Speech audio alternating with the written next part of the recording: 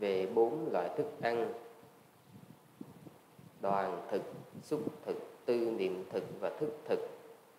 Khi đến ở nơi thanh vắng thì có người thấy buồn, chán, trống trải. Vậy họ đang thiếu loại thức ăn gì? Nhu cầu trò chuyện, trao đổi thông tin hoặc tám chuyện là tội loại gì? Cân bằng như thế nào?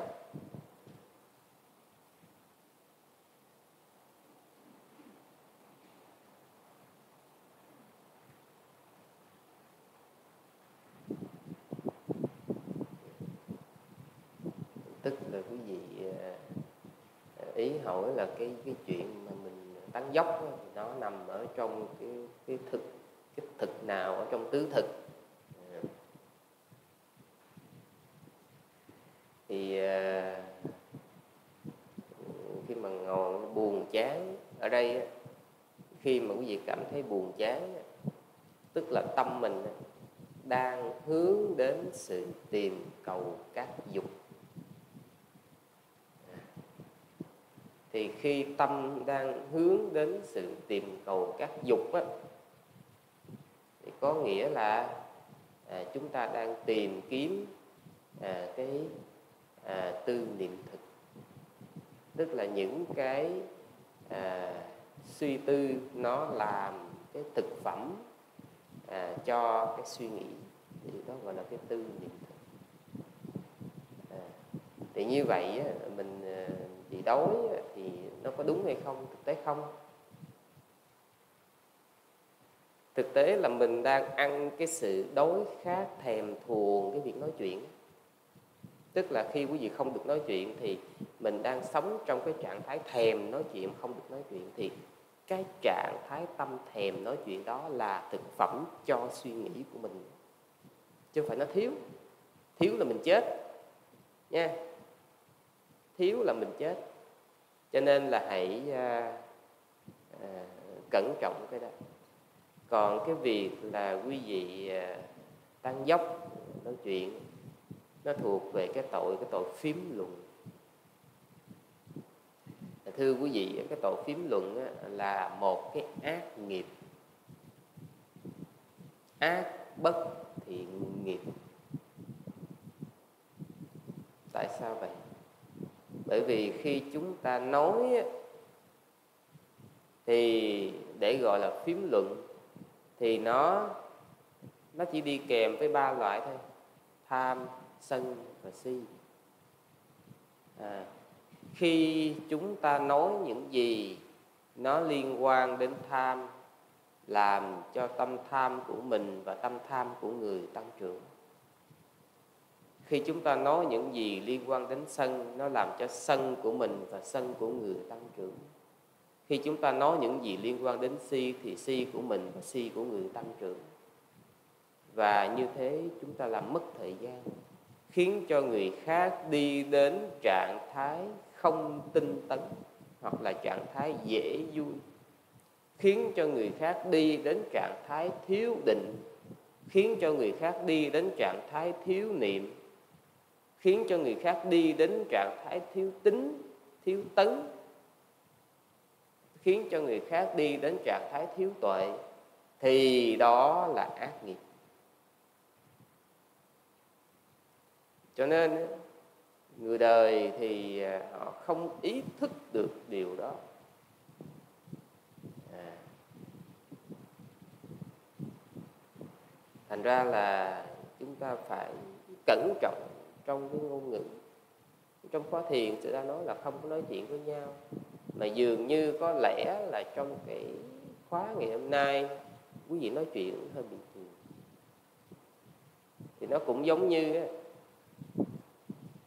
à, cái người à, cha thì à, nói với đứa con con à con đừng có nghịch dao bởi vì nó sẽ đứt tay con đừng có nghịch lửa bởi vì nó sẽ bị phỏng. Con đừng có nghịch ổ điện bởi vì nó sẽ bị điện giật. Nhưng mà đứa con không nghe nó vẫn cứ nghịch dao thì đứt tay là nó phải chịu trách nhiệm.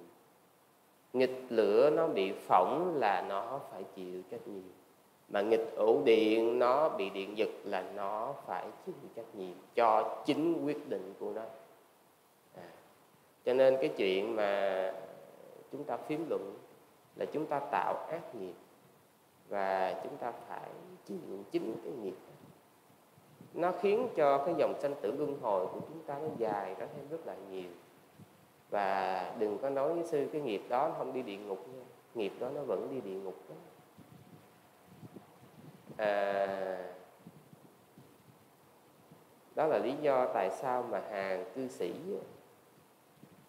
Đức Thế Tôn nói là cái cái loài người mà sau khi thân hoại mạng chung ấy, à, đi địa ngục thì à, rất là nhiều.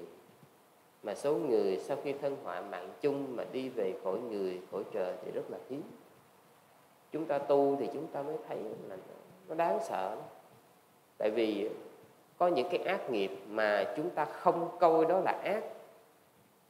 Vấn đề của chúng ta là thế có những cái ác nghiệp chúng ta không coi đó là ác chúng ta coi thường dẫn đến là chúng ta làm hoặc là do chúng ta không được học.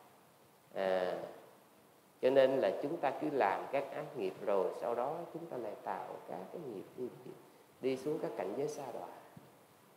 Thành ra đó cái việc quý vị tu như thế này giữ giới, giữ bác quan trai giới, rồi à, thực hành thiền, nó tạo cho chúng ta các cái thiền nghiệp. Thì điều quan trọng là hãy nương theo các cái thiện nghiệp đó, tranh thủ để mà sanh thiên hoặc là đi về cõi người. Nhưng mà điều quan trọng nhất là tranh thủ để hướng đến sự tu tập giải thoát giác ngộ bởi vì trong dòng sanh tử luân hồi số kiếp mà chúng ta được gặp chánh pháp nó rất là hiếm. Số kiếp mà chúng ta được tu tập đúng theo chánh pháp rất là hiếm. À, cho nên các cái thiện nghiệp chúng ta làm nó rất là hiếm. Mà các nghiệp bất thiện chúng ta làm thì rất là nhiều.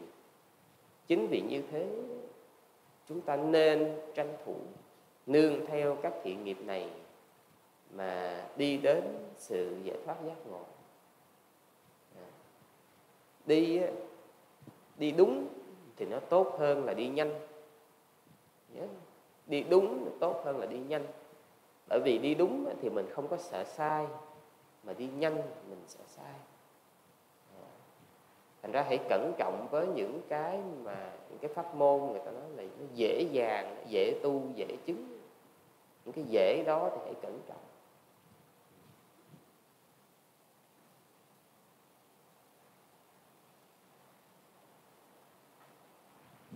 học đạo Phật giáo Nguyên Thủy. À, quý vị sẽ thấy là cái đời sống của mình nó đầy những hiểm nạn. Đụng một tí là đọa đụng một tí là đọa. Tại vì các sư chủ trương là nói cho quý vị cái sự thật. Các sư không có gọi là à, xoa dịu hoặc là ru ngủ quý vị. Bởi vì các sư đâu có cần cái gì ở quý vị đâu mà phải làm điều đó. Cho nên là các sư nói sự thật. Mà sự thật á, đôi khi nó nó đắng. Mà chỉ khi nào chúng ta chấp nhận được vị đắng thì chúng ta mới có thể tiến bộ được.